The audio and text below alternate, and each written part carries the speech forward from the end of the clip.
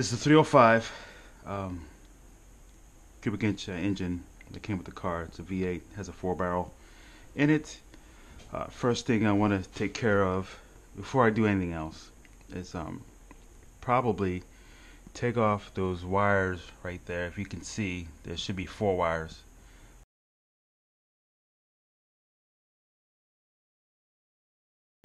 What happens is this is coming from the uh, ECU, the ECM, whatever you want to call it.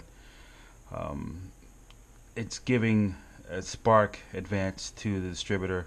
It's controlling it by other sensors that are in here as far as heat and I mean temperature. So you can bypass all that really um, if you don't want to use the brain box anymore, which I don't want to. I don't trust that either. It's old technology.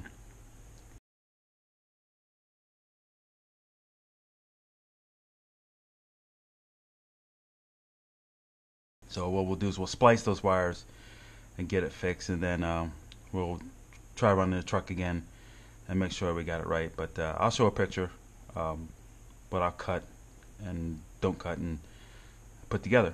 So that'll be the first thing we'll do. Then after that, we'll walk through uh, the other stuff.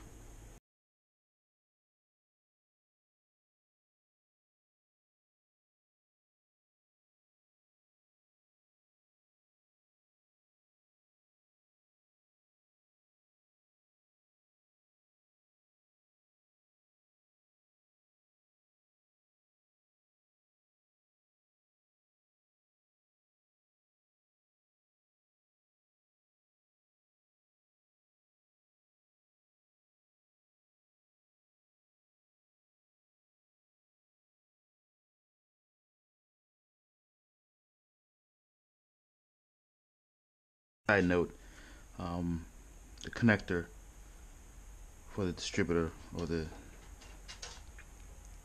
coming off of, um, I guess the electronic spark controller, the wiring for that, or the people call it, uh, also it's called electronic uh, spark timing or EST. I, the connector was kind of shaky. It wasn't I don't think it was giving good contact. So I end up doing is buying one of these trailer um, wiring connectors and labeling it with an engraver uh, A, B, C, D, as you can see on both ends. Excuse me. So um, this is like nine bucks to um, replace that connector that's there because that connector doesn't seem like it's it's making great contact. Not to me. It seems kind of loose so this is I think the cheapest route. Um, what I'll do is I'll probably put electrical tape around here just to ensure that whatever's exposed is not uh, not exposed anymore. So um, that's a cheap way of doing this. You want to have a connector just in case you have to take off the distributor.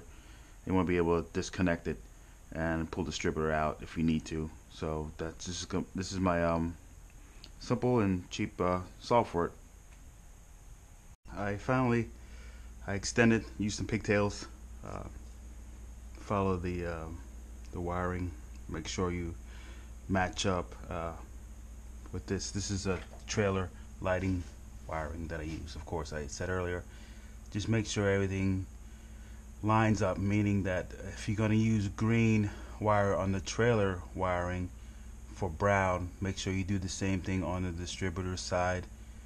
Don't get the wires mixed up. Um, if you can see here, the pigtails, um, it's a longer wire. It's easy to get to, straight to the distributor. Uh, the two wires that are here, uh, whoops, on the other side, let's take a look. The two wires that are here, if you can see, that I'm not using, they're like curly cute. Uh, these are the wires on the other end of the distributor. You can see here, I solder these together and taped soldered and taped these together here um, which is I can tell you what color they are. They are the black and the green. They get uh, cut and soldered together. And that will bypass your electronic uh, spark control or your electronic spark timing. Um, that way it doesn't uh, not give enough spark or it just it just not a great system to have. Sometimes it's intermittent. Sometimes it works. Sometimes it doesn't. It makes your car run funny. But let's let's test this out. So now with this bypass we have here, you have a, a high uh, what do you call a high electronic ignition HEI and that's basically it you don't have to take out the distributor just jump these wires and should be fine I'll post some pictures um, what I did but it's pretty pretty simple. In my case it's a little difficult because I had to extend the wiring because the the um, the connector was bad. I can show you the connector. I can find it. Here it is. The connector here if you can see it or not. The connector um, if you look on here it does have the uh, A B C D there. And then if you look on here that's the same thing. Whoops. Oh, I dropped that in there. Um, that's the same thing here A B C D. I don't know if you can see it or not. I'm gonna have to find that connector. But um, yep the, it just seemed odd. It just everything looked like it just was not like some corrosion was going on and let's see if we can fish this out. I don't know where it went to. Let's see. A water leak.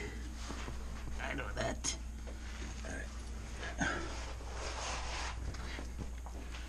Okay, found it. So if you look at it, I mean this this rubber here is is dried up.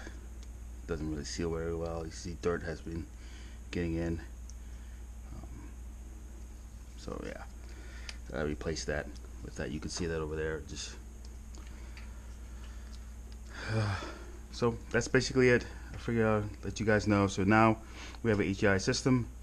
We can move on. Oh, let's see if the vehicle starts at least. All right, let's see.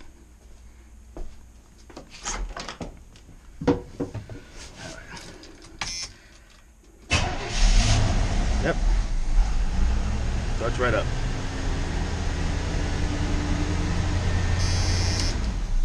so we're good to go.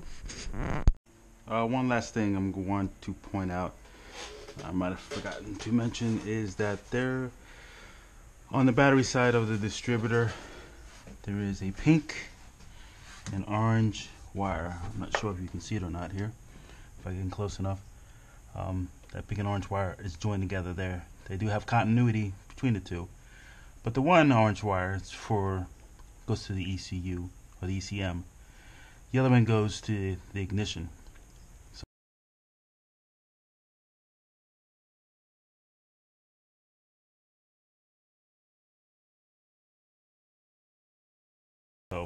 My recommendation is uh, you can disconnect that. The um, pink wire, the pink wire goes to the ignition. Then you want to disconnect that and just hook that directly to the distributor. There's no need to hook um, that orange wire back up. Uh, we're bypassing the computer anyway. Um, that usually tells it to give it a signal um, to retard the uh, uh, the coil, but that's not case anymore. So um, this is this is it, and this will be the final thing. Um, as you can see, um, everything's apart here, and I took the distributor out. So um, I just want to show that one part and that is it